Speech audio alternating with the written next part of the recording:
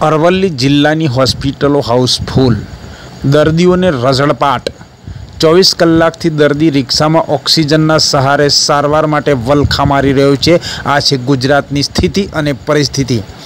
ગરીબ પરિવાર હોસ્પિટલોમાં ખૂંદી વળ્યા. પણ એક પણ તબીબે દર્દીને સારવાર આપવાની તસ્તી પણ ન લીધી. એટલે કે ગરીબો માટે હોસ્પિટલ ન હોય અને હોસ્પિટલમાં સારવાર પણ ન હોય તેવી પરિસ્થિતિ નિર્માણ પામી છે ત્યારે મહીસાગર જિલ્લાના વડધરી ગામના પરિવાર સારવાર મળવાની આશાએ અહીં અરવલ્લીમાં આવ્યા છે અને ગરીબ દર્દીઓ અને પરિવારના લોકોની હાલત પણ દયનીય છે. આમ અરવલ્લી જિલ્લાની હોસ્પિટલો પણ હાલમાં કોરોના દર્દીઓથી ભરપૂર અને હાઉસફુલ જોવા મળી રહી છે, જેને લઈને દર્દીઓને રઝળપાટ થઈ રહ્યો છે. આમ ગુજરાતમાં પણ ઓક્સિજનની કમીની સાથે સાથે હોસ્પિટલોના જે બેડ છે, વેન્ટિલેટર છે, તેમાં પણ ખપત પડતી હોય અને અછત વર્તાતી હોય તે પ્રમાણે હવે હાઉસફુલના પાટિયા દવાખાનાઓમાં લાગી જ ગયા છે, જેને લઈને ગરીબ દર્દીઓને રઝળપાટ કરવો પડે છે. ત્યારે મહીસાગર જિલ્લાના જે દર્દી આવ્યા હતા, સારવાર લેવા માટે, પરંતુ તે અરવલ્લી જિલ્લાની હોસ્પિટલો હાઉસફુલ હોવાથી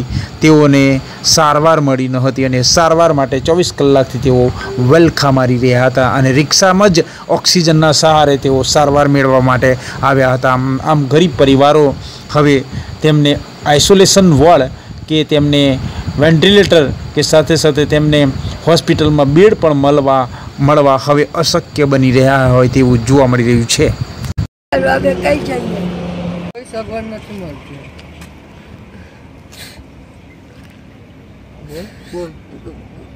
અમારે અહીંયા તો બે દિવસથી અહીં રિક્ષા લઈને ભાડા લઈને ફરીએ છે.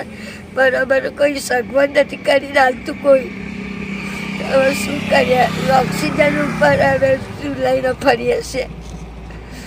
અમારું કોઈ દવાખાનો કોઈ ના પાડે છે બધા જગ્યા નથી એમ કરીને. હવે અમારું શું કરવા? અમે કઈ જઈએ?